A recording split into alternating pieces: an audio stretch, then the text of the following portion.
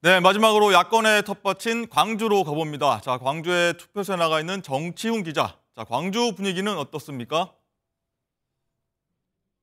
네, 저는 광주 상무고등학교에 마련된 상무 1동 제4투표소에 나와 있습니다. 아, 이곳 광주도 투표가 순조롭게 진행되고 있는데요. 이 차분한 가운데 가벼운 옷차림으로 투표에 나서는 시민도 있고 투표를 하고 외출에 나서려는 유권자도 보였습니다. 인근 병원에서 입원 중인 환자가 팔이 불편한 상황에도 투표소를 찾아온 모습이 인상적이었습니다. 현재 광주 투표율은 오전 9시 기준 5.6%로 전국에서 가장 저조한 것으로 집계됐습니다.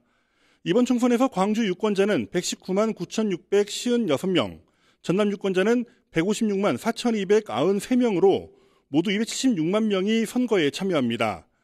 사전 투표율로 보면 광주는 38%로 전국에서 세 번째로 높았고 전남은 41.19%로 전국에서 가장 투표율이 높았습니다. 높은 투표 열기가 본투표로 이어지면서 광주와 전남 모두 오늘 본투표를 더해 70%가 넘는 투표율을 보일 것으로 전망됩니다. 날씨도 투표에 영향을 미치는데요. 오늘 광주 날씨는 구름이 살짝 끼었지만 맑고 포근할 것으로 보여 투표에 지장을 주지는 않을 것으로 보입니다. 현재는 투표소를 받는 투표소를 찾는 발길이 뜸한 편이지만 점차 유권자가 늘어나면서 투표율 또한 올라갈 것으로 예상됩니다. 이곳 광주 전남은 그동안 야권이 강세를 보이고 있는 만큼 이번에도 이변 없는 민심을 보일지 관심을 모으고 있습니다.